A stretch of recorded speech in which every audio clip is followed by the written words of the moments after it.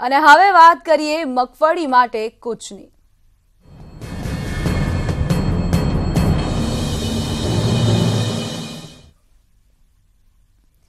આજે કોંગ્રેસની ખેડૂત સંવેદના યાત્રા ગાંધીધામથી ગાંધીનગર સુધી યોજાશે. મગફળી, ખાતર ખાતર કૌભાંડ, નકલી બિયારણ મુદ્દે યાત્રા યોજવામાં આવશે.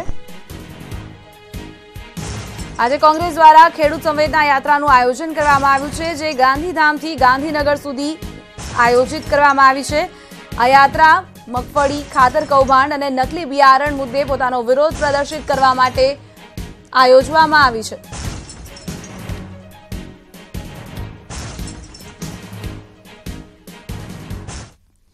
કચ્છના ગાંધીધામમાં મગફળી કૌભાંડનું ભૂત હજુ શમ્યું નથી. ખેડૂતોની વિવિધ સમસ્યાઓને લઈને કોંગ્રેસ હવે લડાયક મૂડમાં છે.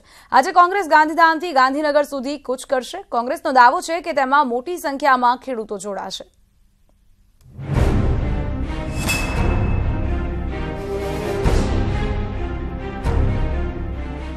ગાંધીધામનો મગફળી કાંડ ફરી ચર્ચામાં.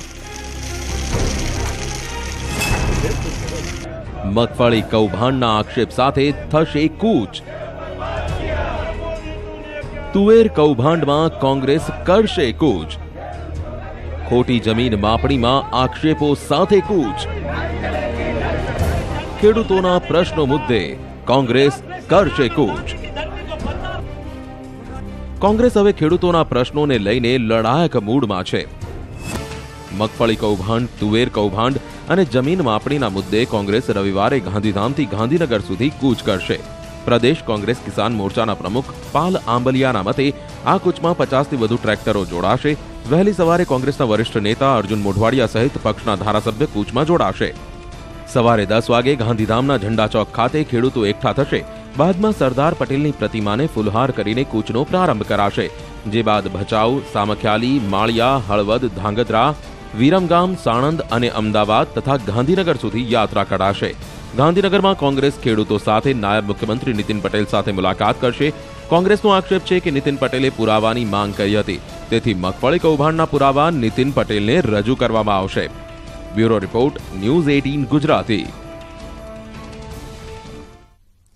Budget પહેલા રાજ્ય સરકારે સરકારી કર્મચારીઓને મોટી ભેટ આપી છે. સરકારે કર્મચારીઓના મોંઘવારી ભથ્થામાં ત્રણ ટકાનો વધારો કર્યો છે. આ જાહેરાતથી સાડા નવ લાખથી વધુ કર્મચારીઓને લાભ મળશે. નાયબ મુખ્યમંત્રી નીતિન પટેલ નવ પોઈન્ટ એકસઠ લાખ સરકારી કર્મચારીના મોંઘવારી ભથ્થામાં વધારાની જાહેરાત કરતા કહ્યું કે તેનાથી રાજ્યની તિજોરી પર એક કરોડનો બોજો પડશે. આ ભથ્થું જુલાઈના પગારમાં એક સાથે ચૂકવવામાં આવશે. એટલે કે આ વધારો એક જાન્યુઆરી બે હજાર ઓગણીસથી અમલી ગણાશે. કર્મચારીઓમાં ગ્રાન્ટેડ શાળાના શિક્ષકોને પણ આવરી લેવાયા છે. તો સરકાર દ્વારા મોટી ભેટ આપવામાં આવી છે. સરકારી કર્મચારીઓ માટે મહત્વનો નિર્ણય લેવામાં આવ્યો છે. નવ પોઈન્ટ એકસઠ લાખ કર્મચારીઓને ભેટ મળશે.